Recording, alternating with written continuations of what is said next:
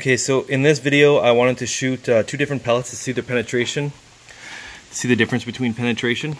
So the first one is this flathead. Uh, it's called, uh, like my gun's brand is called Norica.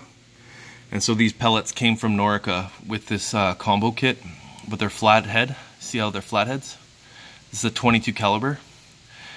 And so um, it's a flathead Norica pellet. And then the other one is a Crosman pointed. You see that the pointed on the Crosman, it's not like super pointed, but it's it's uh, it's kind of a rounded pointed, but apparently from tests I've seen online, they fly the best. They fly really, really well, and they're really accurate. So I guess we'll see uh, uh, the difference in penetration. I have a plastic bottle it's a it's one of those uh, ocean spray packed bottles. They're really like thick plastic, um, thicker than regular water bottles, and we'll see how these guys perform. And uh, we'll be shooting out of a Norica Titan.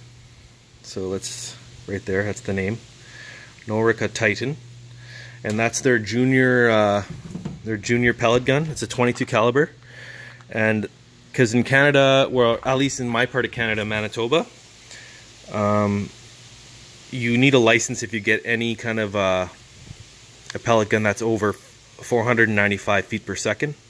So most of the time, people have like junior junior rifles because they they don't want to have to get a license just to have a pellet gun to kill like mice and birds and stuff. So, but uh, yeah, I found that this is a really really well built gun. and It's very powerful and uh, and it came with a kit. It came with a gun, it came with a scope, which I removed, and it came with uh, flathead pellets and this case.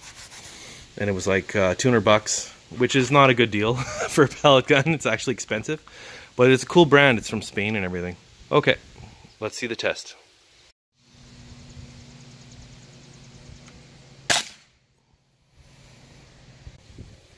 Okay, so that was the flathead. Let's see how she shot. It hit the outside of this bottle. This is a really, really hard plastic actually, this packed bottle, I don't know. But obviously, it didn't go, it didn't penetrate the back. And I don't know where the pellet went. I don't know if it went inside. I think it did, so let's check it out.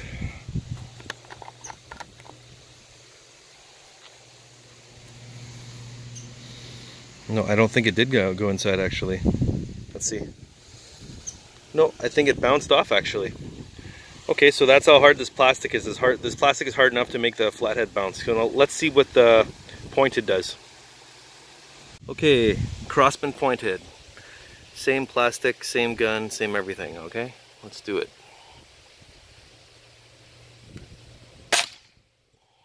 Okay. Let's see.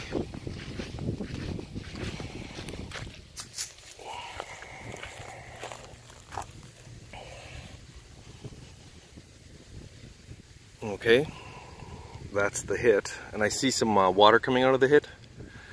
So in other words, I de definitely think that it did break through.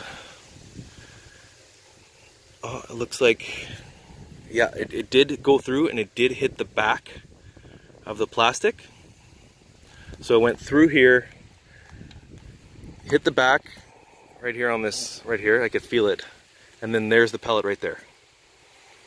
So the Crosman definitely has way stronger penetration than uh, Flathead, and that's obvious, but I just wanted to prove it.